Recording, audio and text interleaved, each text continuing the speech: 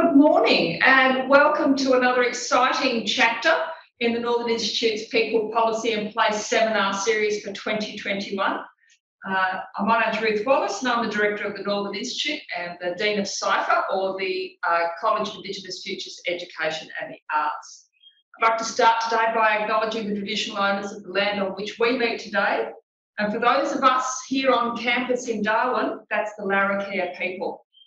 We always pay our respects to Larrakia pe people and elders, past, present, and future, and further extend that to Aboriginal Torres Strait Islander people joining us today and all of the places that you live and work on and the custodians of those lands and seas.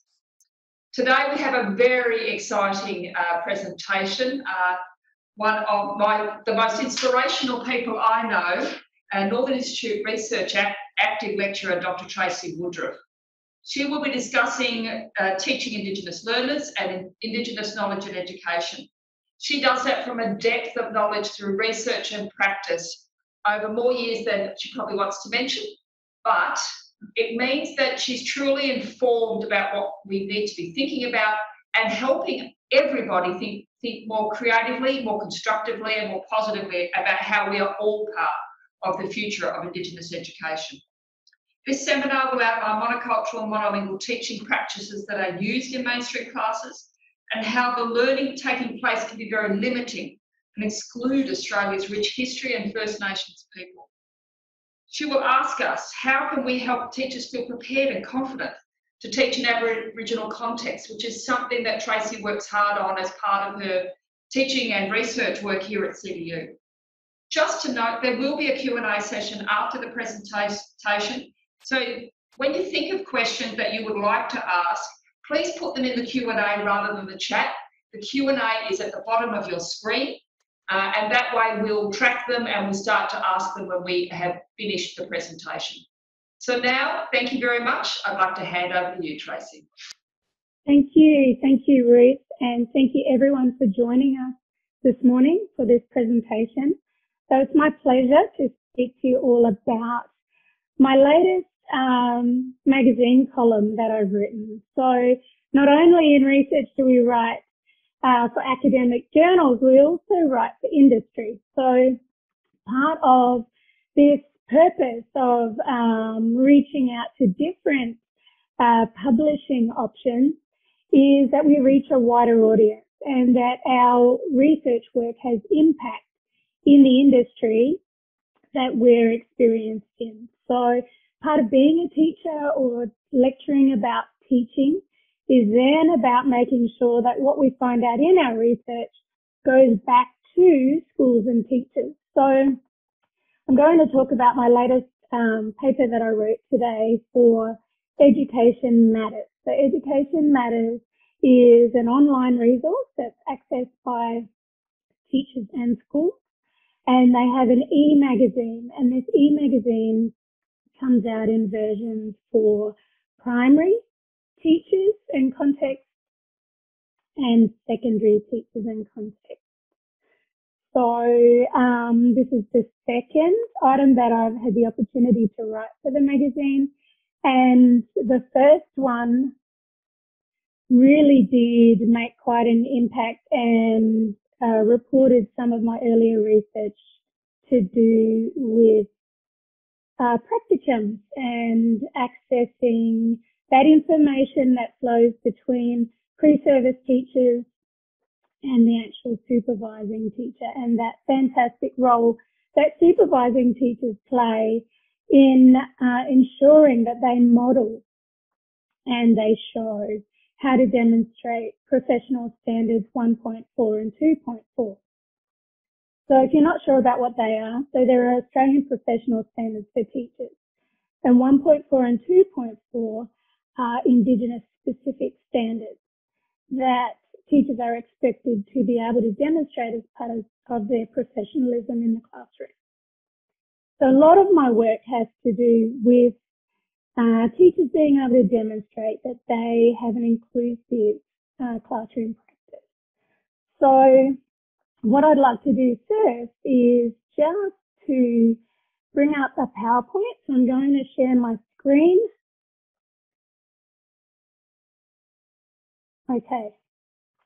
So Indigenous Australia in your classroom, which is something that can be quite paralysing for some teachers who may not have experience in working in Indigenous context or feel like they may be underprepared in working with Indigenous students and Indigenous communities. So this takes up quite a lot of my um, thinking in how to convey appropriate measures for people to use, but also how to make those measures um, habit or part of their everyday practice. So today I'm going to talk about an introduction and summary of teaching experiences, research and lecturing focus areas and significance, diversity of Aboriginal culture in Australia, pre-service teacher education, which is one of the key target areas, overall teacher professionalism, and then just making a bit of a statement near the end there. If you don't know, make sure that you find out. So by way of introduction, I identify as being an Aboriginal Australian woman. My family are from Central Australia, so I'm a Warramunga Luritja woman. And my um, years of schooling and growing up, though, have not been sent, uh, in Central Australia. They've been in Darwin, so around the coast, but I'm not a saltwater girl. I am from Central Australia. Now, most of my teaching, funnily enough, in the Northern Territory has been in Darwin itself. Uh, when I first began, I had a posting in Katherine and I began, even though I was primary trained, teaching in an early childhood setting, which was quite interesting. And actually, um, following those preschool students through to transition and then early childhood years while I was there in Katherine. So Katherine was a fantastic place to begin my teaching because the uh, collegial kind of um, environment and, and, attitude there of a smaller community or a smaller town was fantastic for providing support and building that confidence in my early um, full-time teaching. We also were lucky because we had a variety of students who accessed our school. So we had students coming in from community. And we also had students who were based at, uh, who lived at Tindal. Okay, so we had a variety of Indigenous and non-Indigenous students who accessed our school. And really that sort of encouraged me, um, I think, to develop my practice and think about how I catered for all my students and how I do that effectively, um, understanding the different cultural backgrounds that they might come from. Uh, coming into Darwin then, I spent a lot of time in primary, but then secondary settings as well, and senior roles, so senior teacher, supervising teachers, and then um, a specialist teacher for behaviour management. So working on those skills that I'd learned about engaging all sorts of students. So uh, I think that's really important for people as they build their knowledge. So developing uh, a focus in certain areas and especially for Indigenous students, you know, understanding how culture um, may impact on how you change your practice. So understanding each of your students as individuals and then modifying what you do as their teacher to provide the best learning for them. Because if they're not learning, you're obviously not teaching. Okay, you may not want to hear that, but if your students aren't learning, you're not teaching. So really, you know, we should understand teaching as a profession and it's something that you get better at over time. And it's definitely an art that you develop. And I think Hattie probably explained that best when he said there are novice teachers, there are experienced teachers, and there are expert teachers. And the difference between those three may not be clear, but obviously novice is new. You know, maybe you haven't built up um, you know, skills and uh, things that you learn over time. Experience is um, an interesting one because he said that's just teachers who've been around for a long time. Doesn't necessarily mean you're any good at teaching. It just means you've been there for a long time. And in fact, some teachers who are experienced maybe should be those who retire. But the one that we all are trying to aim for is that expert category, okay? Because experts are thought to have an intuition that helps them understand the content area that they're teaching to such a degree that they can scaffold and break it down to those smaller composite parts that students need. Okay, so the students in your class have different needs and an expert teacher is meant to be able to know how to cater for all of those students. So we'd all like to be experts.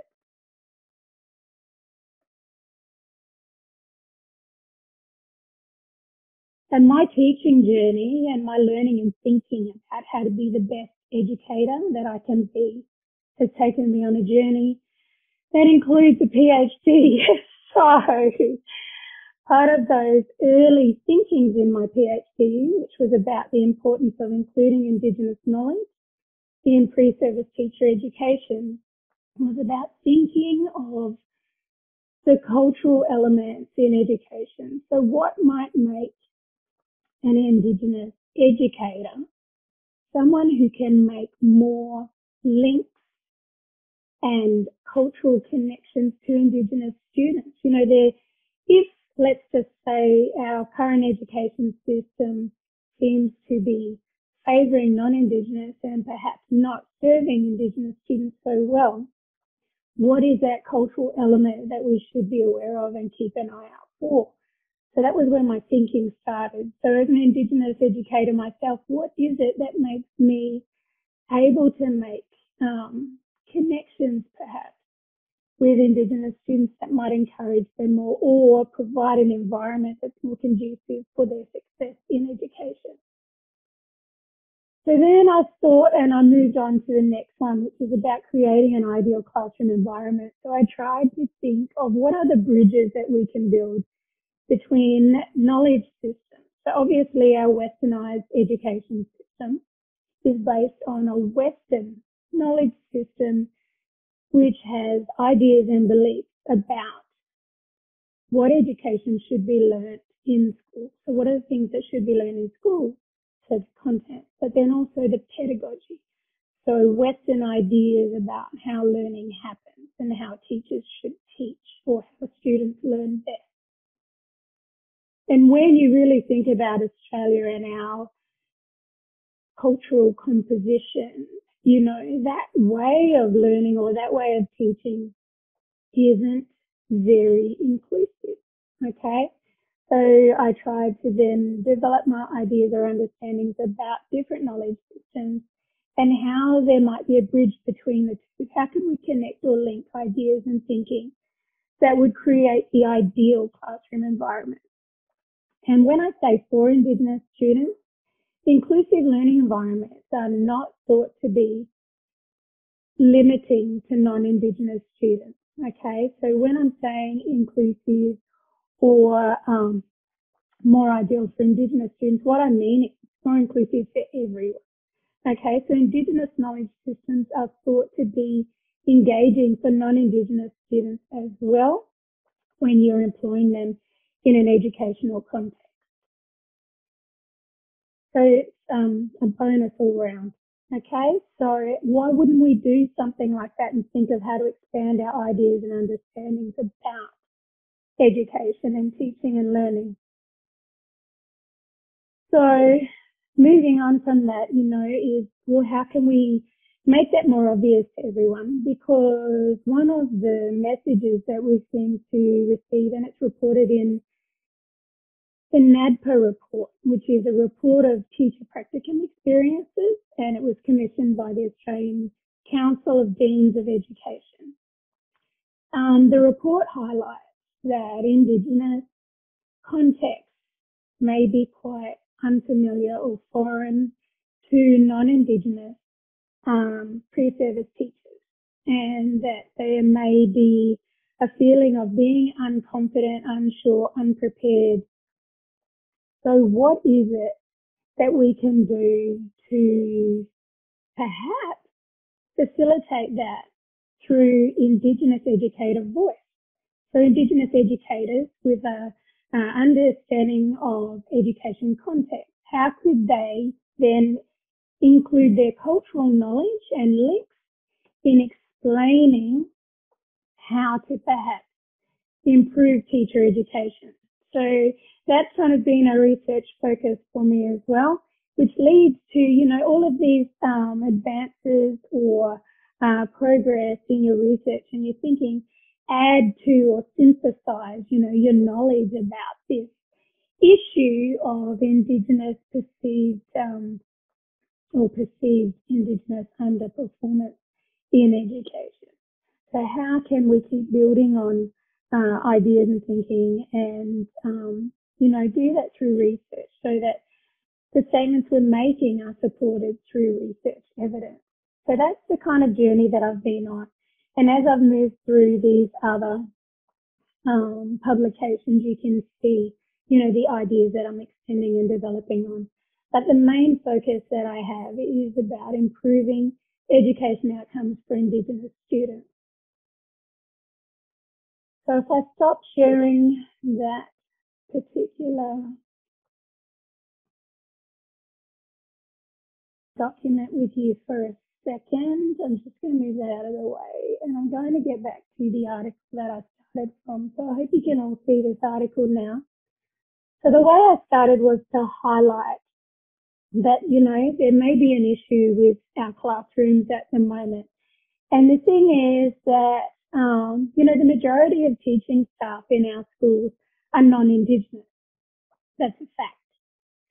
And the education system itself is based on assessing student knowledge in standard Australian English, which makes assumptions that everyone starts with that same starting point of being proficient in standard Australian English, which isn't true. We all know that's not true.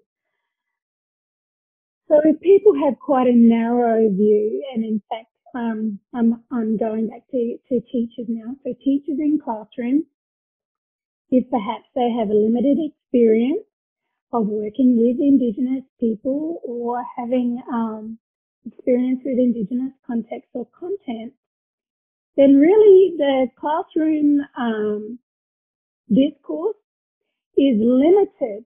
Okay, it seems to limit or exclude all the potential that's contained within Australia's rich history of its First Nations people, of Aboriginal and Torres Strait Islander people. So then I try to convince people who may be naysayers by going into the second paragraph and producing some stats. So I'm not really about stats. I'm about people's stories and about individuals and individual students. But, you know, every now and then we throw in some stats to help people feel like what we're saying is true. So only 3.3% of Australians identified as Aboriginal and Torres Strait Islander in the 2016 census. And you know, perhaps in the bigger urban centres, you know, colonial attitudes and bias might have you think that Indigenous Australians don't live everywhere in Australia. They only live in remote areas, so we don't really need to know about them or know about Indigenous Australia. Well, that's not true, okay? And by no means am I diminishing Aboriginal people who live in remote areas or any issues or education issues that um, exist for Indigenous peoples who live in those locations. But what I'm trying to say is that teachers who work in urban centres cannot say that they don't need to know about working with Indigenous students or know about Indigenous content or context. They do, okay? Because the truth is that 79% of Aboriginal Australians live in urban areas and the vast majority of Aboriginal children receive their education in government schools. So it's everyone's responsibility to know how to make that teaching experience or education knowledge relevant to all Australians. Teaching practice and teaching knowledge needs to include all Australian citizens. So that's Torres Strait Islander and Aboriginal peoples as well. But not all teachers feel confident with that. We've discussed that, okay? And one of the diversity um, complexities there, I suppose you might say, is that not everyone who identifies as being Aboriginal or Torres Strait Islander will be living in their ancestral lands, okay? So as a result of colonisation, many people were dispossessed and displaced and moved to missions or homes and stolen as a matter of government policy. Now, I'm not putting that there to be argumentative or to make anyone feel bad, but what we really need to do is understand, recognise, accept Australia's true history, understand what that means for Indigenous identity today, and for Indigenous people living all over Australia, and how that might play out or be relevant for teachers to know, and how that impacts on classroom practice. So part of that truth about Aboriginal Australia is acknowledging the true history of what happened to Aboriginal people, understanding what that means for them now and how that might play out in the classroom. So you do not make assumptions about your students in your classroom. You have to know them all as individuals and understand where they are from. Okay. So you might think, oh, what's she talking about? Where they're from? They're from here. Well, they may have strong connections, may or may not, may have strong connections to country that is somewhere elsewhere. They may also have strong links and connections to their language and language groups from that country. So you can't just make assumptions about Indigenous students. For example, teachers in Darwin urban schools may wonder why they can't just treat all students as Larrakia, because that would be disrespectful. Because you will have students from numerous locations throughout Australia who may or may not identify as Indigenous. If they do identify as Indigenous, you can't assume that because they're living here in Darwin that they're last here. So understand your students as individuals and then find out what their cultural links and connections are and ask them to explain that to you. So one of the worst things you can do is to define or categorize an Aboriginal person, okay? We want to explain who we are ourselves and we want to talk to you about identity as we define it ourselves, not as other people might categorize us. Because we had that in past government policies with racism and racist terms that are often still used today, okay? Which again is limiting for Indigenous people, okay? Don't do that. All right. So what I move on to next, after we've touched on those kind of heavy, uncomfortable topics, is to move quite quickly into what is something practical that teachers can do. Okay. So how can we work together on a shared history moving forward? So teachers can join those reconciliation efforts. All right. And then I give examples of that. What can they actually do?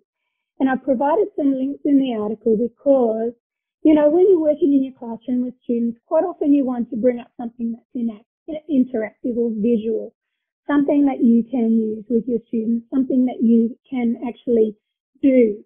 All right. So, um, that's an important thing to point out. So we don't just want people to talk about being culturally competent or hope that they can work towards being culturally competent you know, cultural competency is a journey and I don't actually like, you know, to think we can just give someone a certificate after a half day course and say, oh, you're culturally competent because it's not really, is it? Um, you know, a true reflection of the situation. Being culturally competent, aware, um, responsive, reflexive, uh, is kind of like a journey, isn't it? So it's something constant and dynamic. It's not something you can just tick off and say, yep, I can do that. So we want people to understand that it's something that we're all working towards and it's part of that commitment to reconciliation.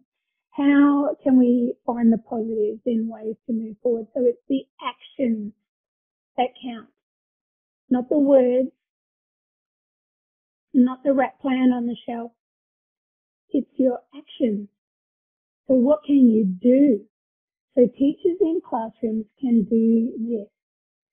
They can at least know the traditional owners of the land that they're on, where their classroom and school is situated, and learn how and when to say an acknowledgement of country. Okay, so people get mixed up between a welcome to country and acknowledgement of country. Find out what an acknowledgement of country is and try to do it. Make a point of teaching it to your own class so students feel that they understand what that is, why you're doing it, and if, um, you know, it came down to it, the students could do an acknowledgement of country themselves. There's plenty of resources that can help you understand about that. So there's a Gambay map of Australia's first languages, which is an interactive language map. It's brilliant. Okay. There's Reading Australia resources. So Reading Australia is a project by um,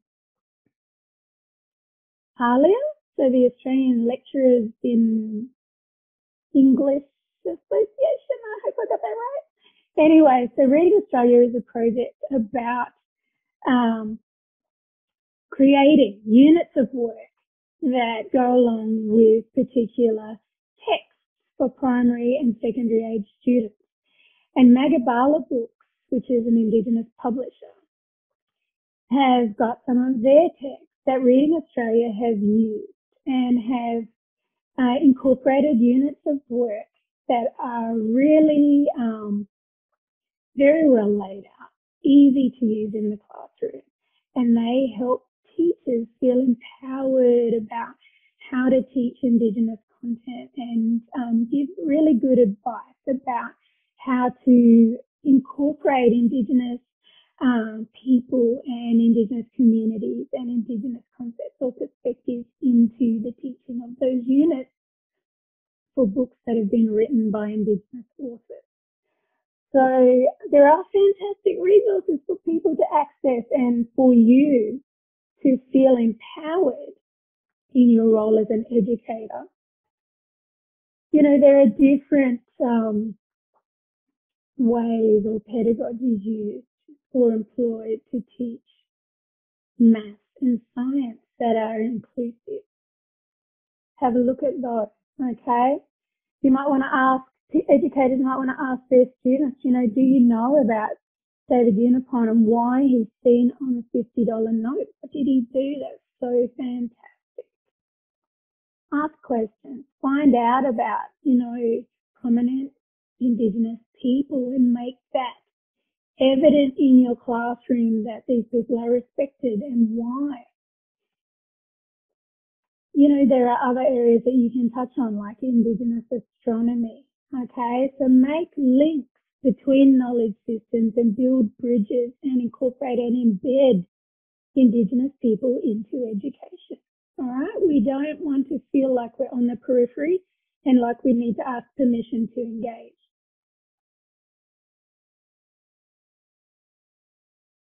Okay, so moving on from that, you know, working on being culturally responsive, reflexive, or competent, whether you're doing any of that.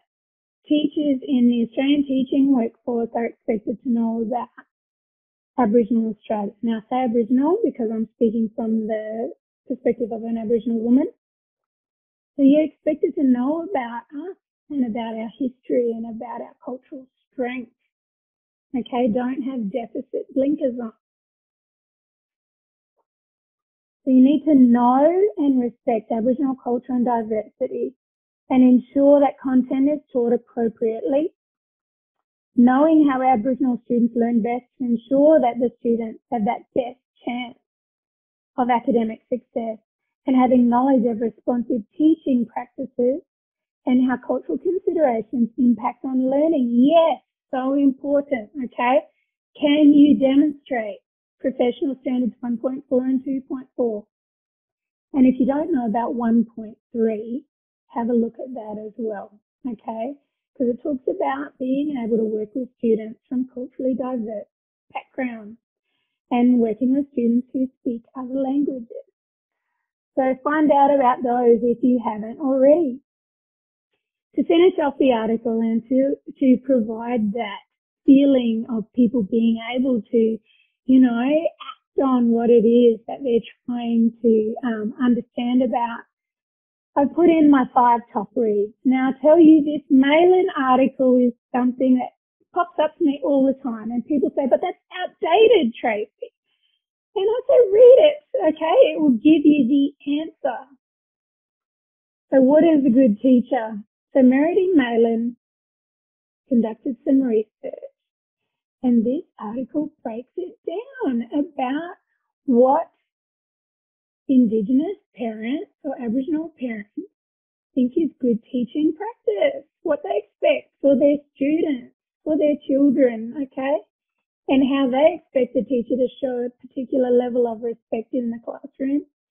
But the article also then compares the non-Indigenous or the non-Aboriginal points of view about teaching. And really, if anything, this article highlights the cultural differences in educational expectations. And if you didn't think there were any, you read this article and you will know that there are. The next two sources that I highlight there are textbooks. Okay, so the first one by Price and Rogers is a textbook that I'm using in my core unit for um, the degrees, and it's um, Aboriginal and Torres Strait Islander education. So it's a textbook that unpacks complex concepts for students who are studying EST 203, Teaching Indigenous Learners.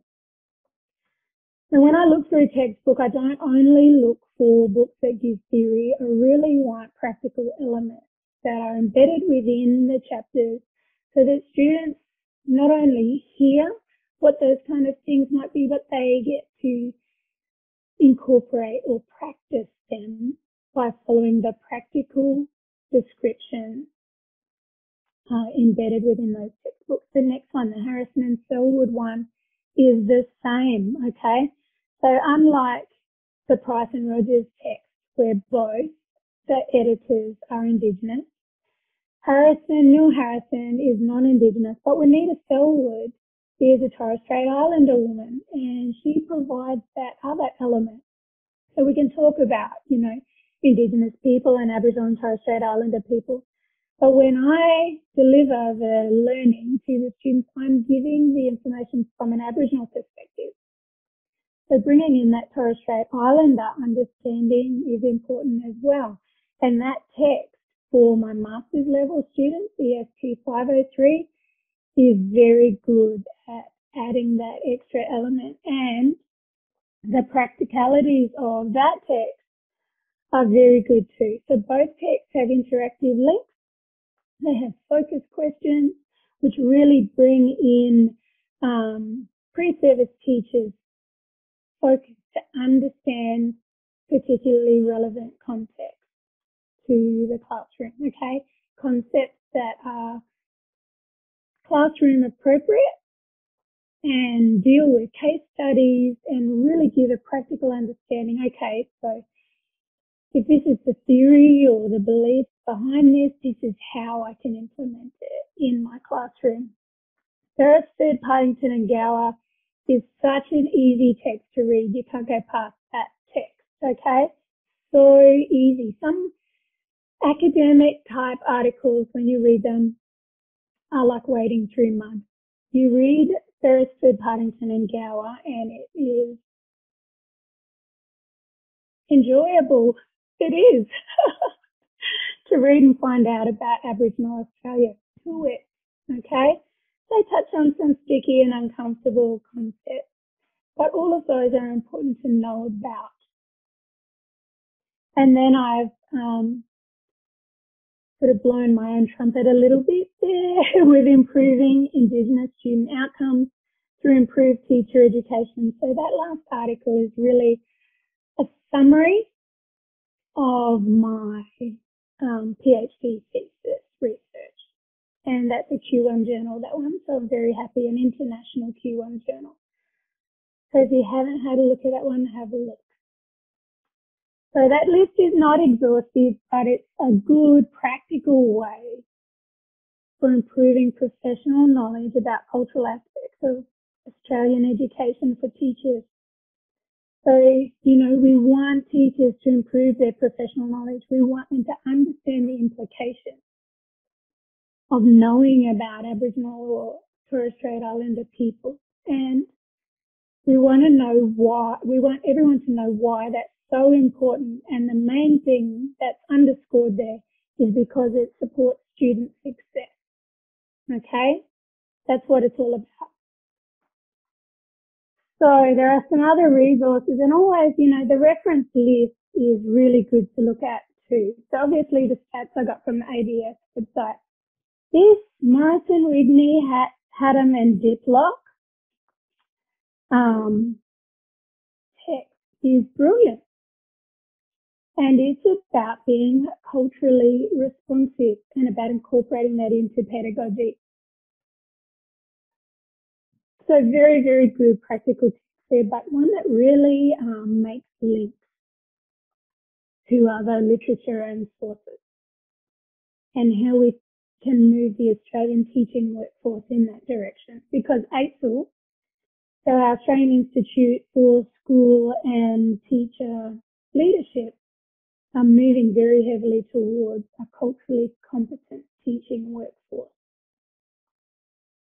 And I know that because in uh, the Northern Institute, we wrote their literature review that started the ball rolling in that space. So then Santoro, she always writes very interesting pieces um, about cultural diversity. And one of her better texts that I uh, like to reference is Outsiders and Others. Different teachers teaching in culturally diverse classrooms. And then the last one is the research that the NADPA report was based on, the NADPA report that I mentioned during the our conversation earlier. So some really um, to the point kind of statements that I've made in that article, but for a good cause, okay? So we don't have time to dilly-dally around. We need to get to the point and change things for Indigenous people in education in Australia. We need to make changes, systemic change.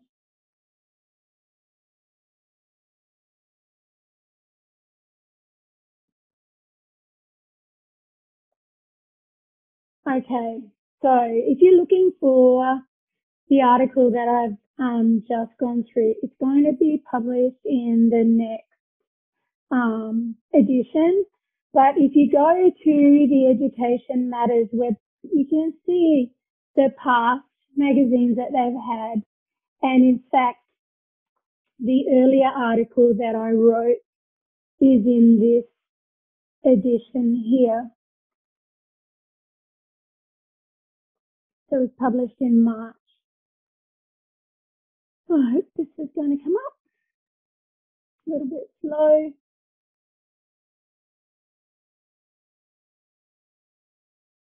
Okay. So you can see it's very easy to access the magazine.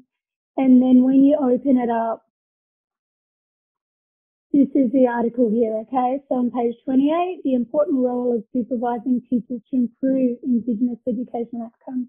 And it's all really about that important aspect of the supervising teacher having discussions with the um, pre-service teacher about, you know, which um, professional standards are you going to demonstrate uh, in this prac, which ones are we looking at, and making sure that they have conversations about professional standards 1.4 and 2.4, and then looking at how those supervising teachers have the important role of modelling the demonstration of those professional standards.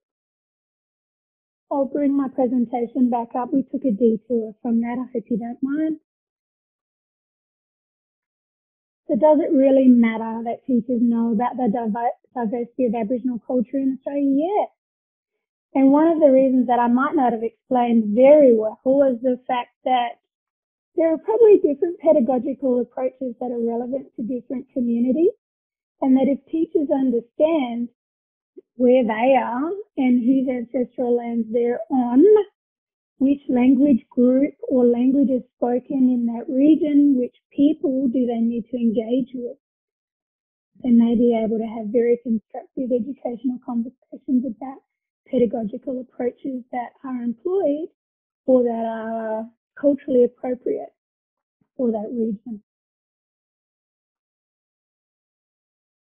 So there's this that I wanted to show you. So the Australian Council of Deans of Education are actually advised by an Indigenous group who are lecturers in teacher education and they're called Alatea and they helped to create these resources that teachers could use to build their confidence but also their capacity in teaching and use as a resource in the classroom with their students. So there are resources and movements about knowing more about Aboriginal Australia. You just have to look for them and you have to want to know what they are.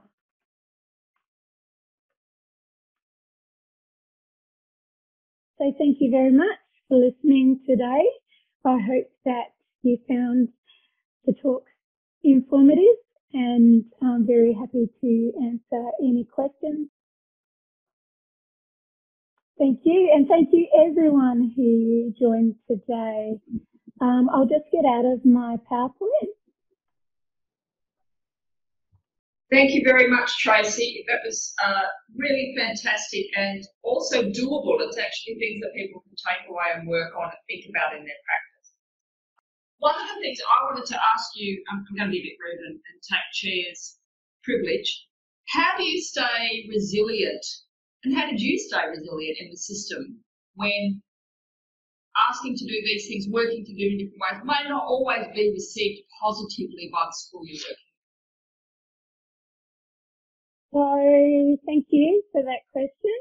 Um, I think it probably goes back to my personality. I'm quite a practical person. So if something's not working out, I want to know why it's not working out and I want to know how I can fix it. I know things aren't always fixable, but there's always something that we can do, some action we can take and some way that we can try and improve a situation. So that's just maybe a personality thing, I suppose. Um, really, you know, it probably goes back to the one question I get asked quite a lot, Tracy, what do you love most about teaching? And I'd have to say it's the children uh, or the students. And then they say, well, what's the main thing we have to do, you know? And I say, you just have to care.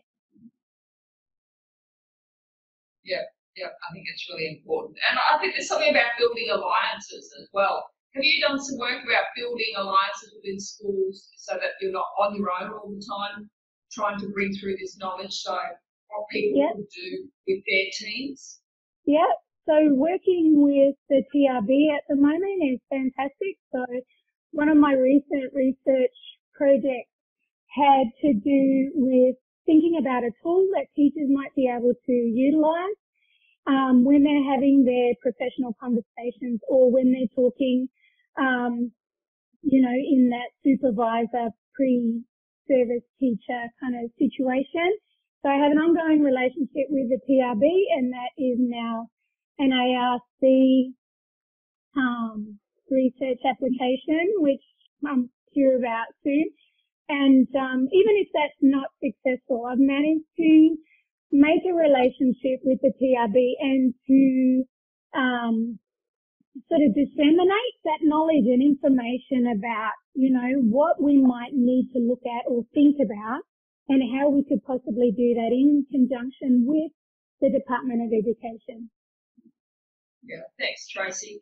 Um, um, Annie Leanne is asking about, well, she's actually commenting on that use of technology. So, did you want to talk about how we adapt technology to improve students' learning and engagement and move to that deeper learning and it doesn't become a way to keep people busy. Yeah. Okay. So I think um, one of the interesting things um, as a teacher that I realized is, you know, early on we expect students to learn how to read. But the reason that we do that is because when they reach a certain stage in their schooling, they're expected to then use that skill of reading to learn for themselves. So, you know, teaching someone how to fish, that analogy, teaching someone how to read. So building that um, efficacy into working with all people. So all the students that I teach, building that efficacy into how they can then um, be more self-reliant in moving forward. Uh, I think technology plays a big part in that. So some people, you know, they don't like computers or, or phones or whatever because they're scared of it, you know. I always think if you jump in and you have a go, you know, you might break it, but you might not. And learning something for yourself to then be able to use those skills later you know, um, independently is something that's very important. Yeah, so important. And, and being able to make mistakes and continue to work with people and saying you're sorry and, and working through it is so important. Um, there's a question about working in partnership with elders, with Aboriginal groups outside the school. Um, how do you do that effectively without burdening some of the elders who would like to be involved but get asked to do absolutely everything? Okay, so I like to um, discuss what an elder is, okay, because some people who are not informed or don't know think that every old person, old Indigenous person is an elder. And I think it's really important to explain that an elder is a person within the Indigenous community who has particular knowledge and responsibility for particular cultural practices. They hold a certain position of respect. And explaining and understanding that then makes it easier to tell people you may not have access to an elder. you can though go through your Aboriginal Islander education worker located within schools to know who's best in the community to contact and to talk with and to be able to access uh, community knowledge that way. And that if you are in fact wanting an elder to come into your classroom, expect that you'll be paying them for their knowledge and their skills and their time. Yeah, and I think you can also work with agencies that are have that are around. If it's not there's not elders to work with, there's other agencies. So I think also we can think more creatively and work with what works with people. It's got to work with what people want to do and feel confident to do and are available to do. Yeah, some people get asked to do everything, don't you think? Yeah, yeah. And I think um, reciprocity is an important thing to remember. So quite often when I give a talk like this, um, afterwards I feel, I know, a little bit deflated, which sounds funny because, you know, you think you're on a buzz, but there, I think as an Aboriginal person, you reach a point where you give away all your knowledge and you feel that you haven't been given anything in return. So there's that one way kind of communication, which I think is not very respectful and not very helpful. So, you know, it's like expecting Aboriginal people to be the main drivers of reconciliation or it's always asking the Aboriginal person in the room to explain racism. You know, hello, excuse me. I might be on the receiving end of it, but someone else knows how to do it really well, you know. So think about those things. I think that's an important starting point. Uh, we've got a question about deficit thinking and the way some courses are, are, are shown a lot of stats and a lot of information which builds a, a deficit presentation, um, and uh, it can then lead into people, students feeling or professionals feeling like they're going to come and save everybody. They're, they're jumping on their horse and here they come.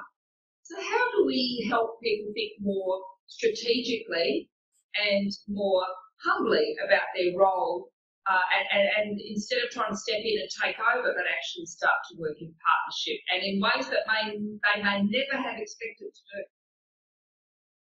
Okay, so generally people act like that because they think they know best, so they're not really honouring the Indigenous knowledge that's already helped Aboriginal people survive and flourish in Australia for over 60,000 years before the British arrived. Okay, so we didn't get saved by the British.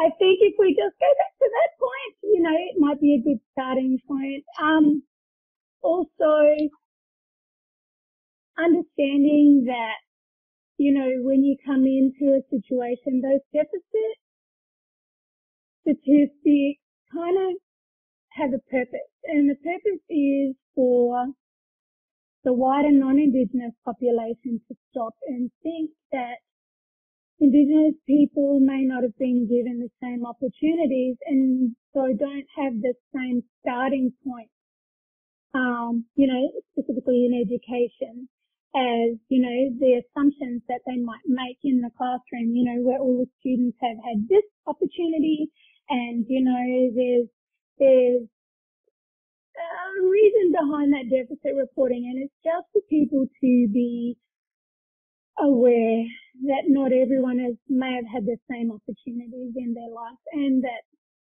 there's also intergenerational trauma that might continue to impact on some people's attitudes or um, engagement.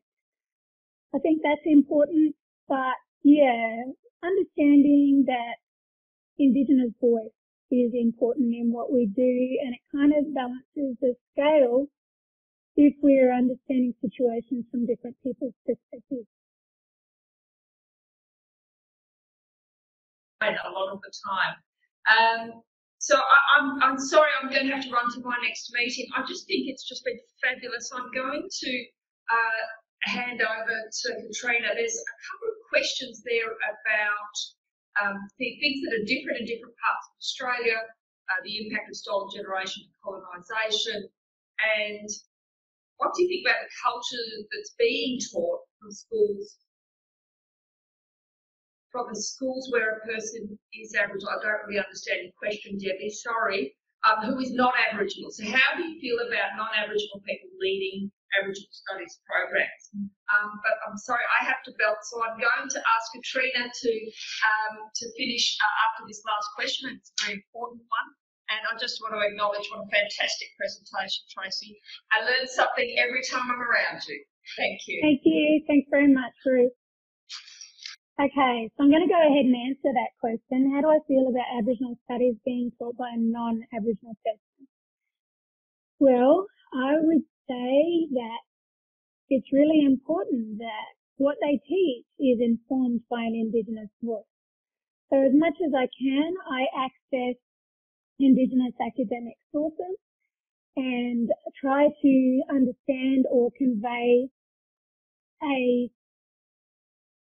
theme, a concept from an Indigenous perspective. Now, if a non-Indigenous person is delivering and feels that they can't do that well, then they should, of course, be um, working in perhaps a team teaching situation or a situation where there's a mentor opportunity for an Aboriginal person or an Indigenous person to provide that insight into an Indigenous perspective because if there's one thing that I definitely believe in is that non-Indigenous people cannot have an Indigenous perspective. You can't understand what it's like to spend your whole life being treated like an Aboriginal person.